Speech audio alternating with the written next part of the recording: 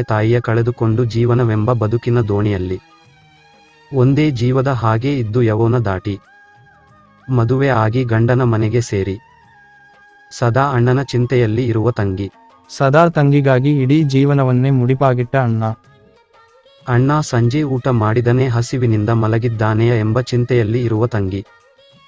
ನನ್ನ ತಂಗಿ ಇವತ್ತು ಏನೂ ಹೊಟ್ಟೆ ತುಂಬಾ ಊಟ ಮಾಡಿದ್ದಾಳ ಎಂಬ ಚಿಂತೆಯಲ್ಲಿ ಇರುವ ಅಣ್ಣ. ಅವಳ ಗಂಡ ನನ್ನ ಭಾವ ನನ್ನ ತಂಗಿಯನ್ನು ಹೇಗೆ ನೋಡುತ್ತಾರೆ ಎಂಬ ಚಿಂತೆ.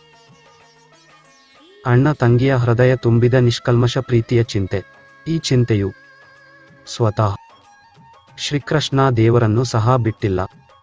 ಸುಭದ್ರ, ಬಲರಾಮ ಶ್ರೀಕೃಷ್ಣ, ಅಣ್ಣಂದಿರಿಗೆ ಸುಭದ್ರ ತಂಗಿಯ ಮೇಲೆನೆ ಚಿಂತೆ.